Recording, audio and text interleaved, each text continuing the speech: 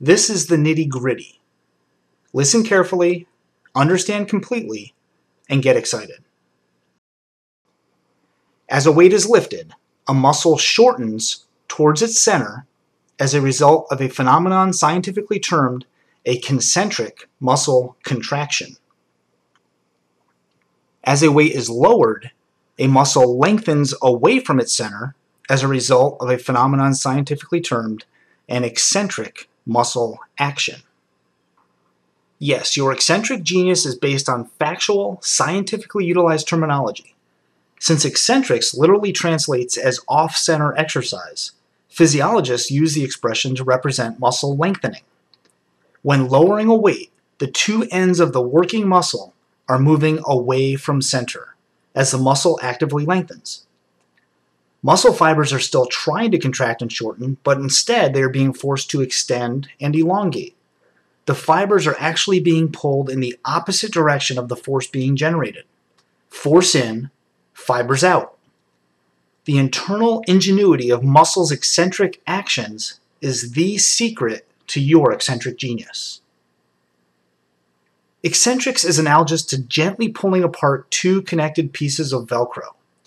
By design, the internal friction within Velcro creates greater strength when being pulled apart than when being pushed together. It's a natural action for the Velcro to resist being pulled apart. It's easy for it. Ditto for muscles. Resisting a weight as it lowers is always easier than lifting that same weight.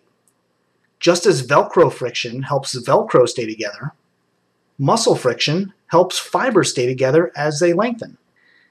It is this reaction, the action of eccentrics, which provides the best stimulus for a better body in every instance. While Velcro is marvelous, eccentrics is miraculous. Can you imagine our lives if our muscles could only shorten, not lengthen? Lift but not lower? Jump but not land? We'd literally have no springs in our steps. The myriad benefits, obvious and obscure, derived from lowering weight make eccentric muscle actions the most remarkable phenomena in the discipline of exercise physiology. As you'll learn in the next section, one reason at a time, eccentrics deserves to be the foundation of any fitness regimen, including yours. Regardless of whether you are beginning a new or another, your program must embrace this number one secret of exercise, slowly lowering weight. Hopefully, you'll soon agree and help me spread the word about your eccentric genius. If exercise could be packed into a pill, it would be the most widely prescribed and beneficial medicine in the world, says Dr. Robert Butler, the first director of the National Institute on Aging. As he leads, please follow my direction down. That which we call eccentrics, by any other name, lowering weight, resisting resistance, or discouraging gravity, would smell as sweet.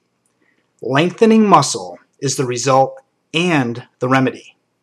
Eccentrics is exercise packed in pill form, the panacea, the greatest medicinal fitness prescription available. Let's open it up and examine the side effects of taking a regular dose of eccentrics.